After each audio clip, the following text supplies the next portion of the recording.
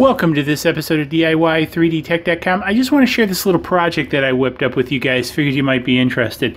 So one of the things that I did is I created this sort of universal base, if you will, uh, in OpenSCAD, and then the idea is is I can subtract various centers, and I'll do I'll do a couple videos on this sort of Saturday bonus videos for you guys um, on this, and and so one of the things I've got this older X-Acto knife that's been laying around my shop for years. I've got younger grandkids. I don't, you know, when they come around the shop, I don't want to have to worry about it. So one of the things I did is I whipped this up.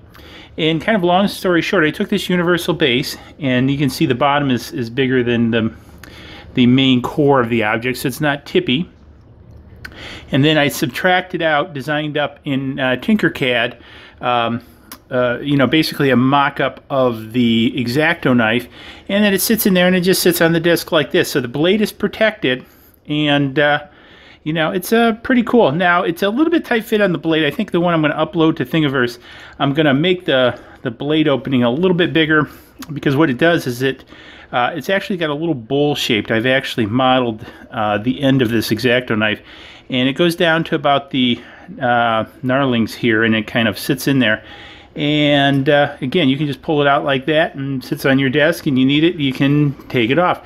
So I thought that was actually pretty cool. So I think these are going to be handy for uh, various types of projects. Like I say next um, in my next Saturday bonus video I'll have another one of these that I designed up for something else. Because again one of the things I like having organization around the shop well, I'm, t- I'm terrible at applying it. I like the idea of it. And um, actually, I'm pretty good at applying it, just lack the time because I'm always making something to organize, right? So it's kind of a conundrum.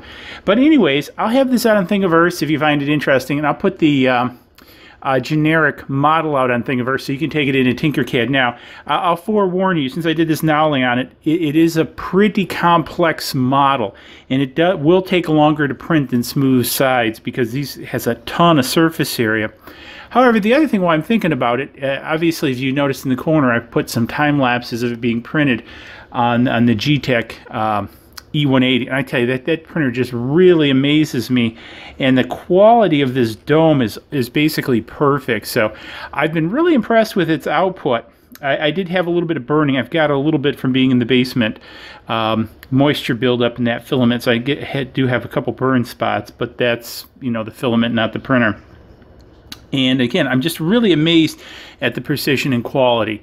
So anyways, just kind of want to share this. I'll have the link on this down below. Uh, if you think of any other ideas that I can come up with for this uh, generic base, let me know in the comments below. And uh, hey, I may build it and put it on a Saturday bonus video.